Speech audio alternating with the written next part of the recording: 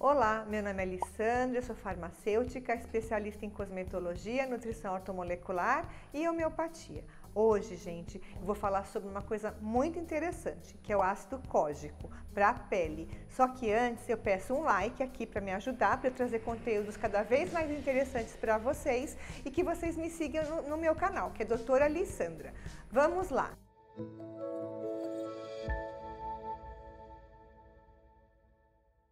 Então, gente, o ácido cógico. O ácido cógico é um ácido usado para tratamento da pele. Ele vai clarear as manchas em 15 dias a 30 dias, né? E ele vai dar luminosidade. Ele também é um poderoso antioxidante. Toda vez que a gente falar para você antioxidante, lembre sempre, ele vai brecar o envelhecimento. Toda vez que eu falar para vocês um medicamento antioxidante, um creme antioxidante, ele vai sempre retardar o envelhecimento. Isso é super importante, tá bom? Até em questão, no caso quando eu falar assim, ah, tal suplemento é um antioxidante, ele vai ser um suplemento que até as doenças ele vai retardar. Não é só beleza, gente, até as doenças, tá bom? Mas vamos voltar para o ácido cógico. O ácido cógico, ele é um ácido natural. Ele pode vir da fermentação do arroz ou ele pode vir de um cogumelo japonês chamado koji.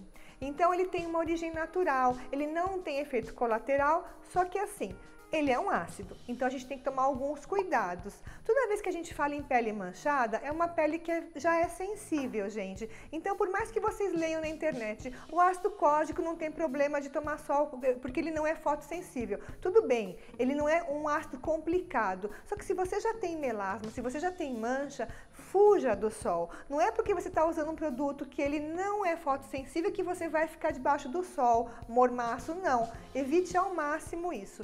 O ácido ácido cógico, ele é natural, como eu já falei, ele é muito indicado para manchas, ele é um dos ácidos mais usados para tratar o melasma, que são aquelas manchas que mulher tem. A mulher tem muito mais manchas do que o homem, tá? Ocorre muito mais, mais em mulheres. Aquelas manchas como se fosse uma asa de borboleta, sabe? Elas podem aparecer por quais motivos? Hormonais, genéticos, excesso de sol, às vezes algum atrito que a pele sofreu, manchas de acne. Então, nesses casos, a gente pode usar o filtro, o ácido cógico, mas nunca esqueça de usar filtro solar duas vezes por dia no mínimo, porque a pele sempre vai estar sensibilizada com a ação de um ácido. Por hoje é só. Por favor, peço de novo um like aqui e siga o canal Doutora Alessandra. Muito obrigada e até a próxima!